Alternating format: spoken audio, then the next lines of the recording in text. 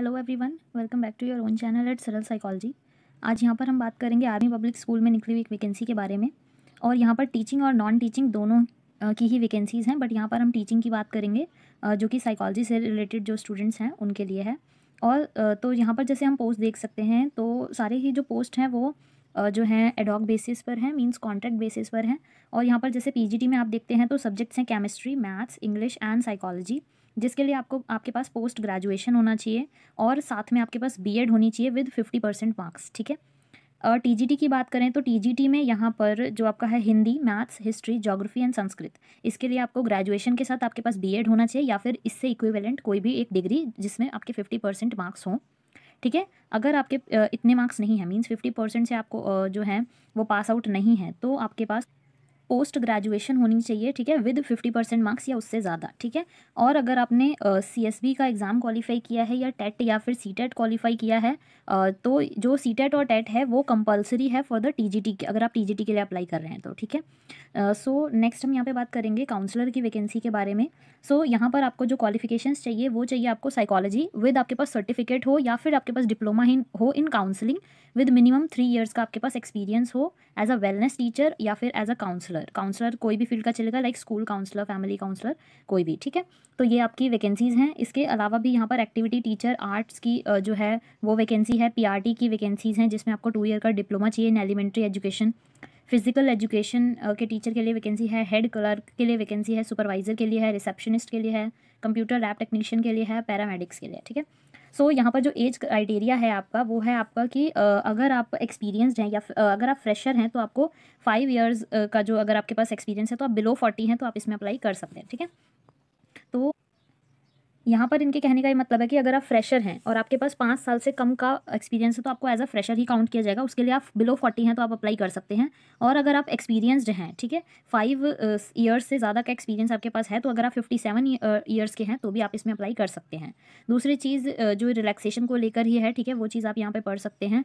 सभी के लिए अलग अलग तरीके से यहाँ पर समझाया हुआ है, ठीक है। नॉन टीचिंग के लिए बिलो फोर्टी फाइव हैं तो आप अप्लाई कर सकते हैं, ठीक है।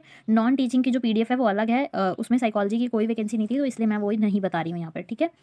तो आपको सबसे पहले क्या करना है अप्लाई करने के लिए, इस पर्टिकुलर साइट पे जाकर एप्लीकेशन फॉर्म को डाउनलोड करना है, ठीक है? लिंक मैं डिस्क्रिप्शन में प्रोवाइड करा दूँगी आपको, वहाँ से डाउनलोड कर सकते हैं और जो पीडीएफ एप्लीकेशन फॉर्म का पीडीएफ है वो टेलीग्राम पे दे दूँगी तो वहाँ से भी निकाल के आप फॉर्म को फिल कर सकते हैं, ठीक है? आपको ईमेल करना है स्कूल की इस पर्टिकुलर वेबसाइट पर और आपके जो सारे डॉक्यूमेंट्स हैं वो कंप्लीट होने चाहिए, ठीक है? कोई भी एप्लीकेशन जो है वो ड्यू डेट के बाद जो है एक्सेप्ट नहीं किया जाएगा और आपकी लास्ट डेट क्या है?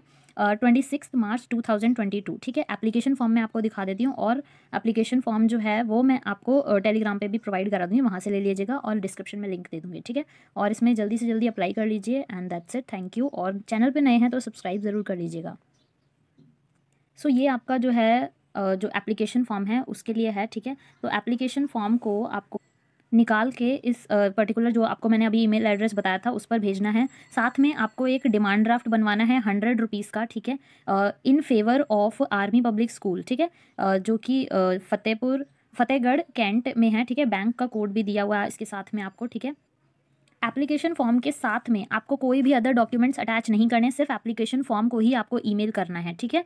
यहाँ पर ये जो आपका बी डी पॉइंट आप देख रहे हो, यहाँ पर ये लिखा हुआ है कि कोई भी जो आपका क्वालिफिकेशन है एजुकेशन क्वालिफिकेशन है, वो आपको मीन्स फॉर्म के साथ नहीं देना फॉर्म सिंगल फॉर्म ही फिल करके देना है आपको, ठीक है?